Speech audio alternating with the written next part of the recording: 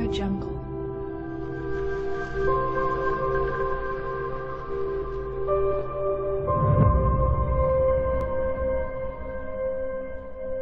Audio Jungle.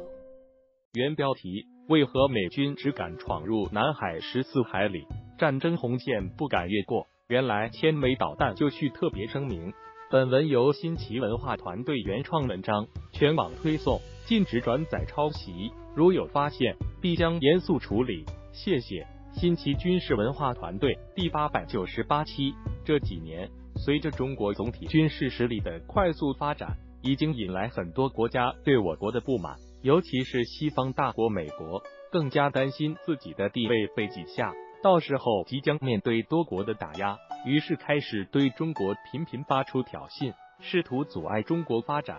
我们都知道，美国在南海颁布了自由航行的条例，因此美军军舰强势闯入我国南海、黄岩岛等多个领域，甚至美国的航母都多次前来巡视，企图用强大的海军实力震慑中国的发展。但是美军每一次的挑衅都换来解放军的驱逐，而美国每次只能前往南海海域十四海里的位置，就不敢继续向前迈进。一旦越过战争红线的话，即将遭受解放军的猛烈打击。要知道，我国拥有多款可以对航母造成威胁的航母杀手反舰导弹，比如东风二幺 D 反舰导弹、霹雳十五导弹等等。这些导弹在我国南海附近至少拥有上千枚，它们主要的作用就是保卫我国南海的绝对安全。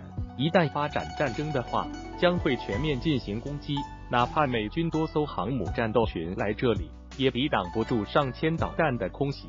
这就是中国的强大实力。而且，我国五代战机歼二十已经列装到空军部队，现在已经形成了战斗力。到时候携带我国最新的作战导弹，对美军来说是巨大的威胁。美军是肯定不敢在中国家门口开战的，毕竟战线这么长，单单依靠海外基地和同盟国的话，根本不是中国对手。就算美军真想和中国一较高下的话，美国很有可能会遭受更多国家的联合对抗。中国在国际是出名的和平发展国家，在国家上面的盟友非常多，尤其是俄罗斯和中国关系相当紧密。美国最害怕的就是中俄联合。